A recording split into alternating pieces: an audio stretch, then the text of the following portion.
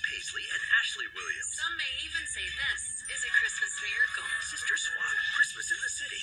All new next Sunday night at 8. Part of Countdown to Christmas.